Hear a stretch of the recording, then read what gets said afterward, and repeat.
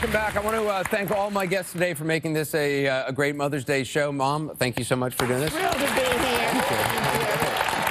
Um, everyone today is going to go home with an amazing array of gifts. We already gave out the uh, the calendar of my mom's. Uh, thanks to Teleflora uh, for providing uh, all of these flowers that you've seen on the stage.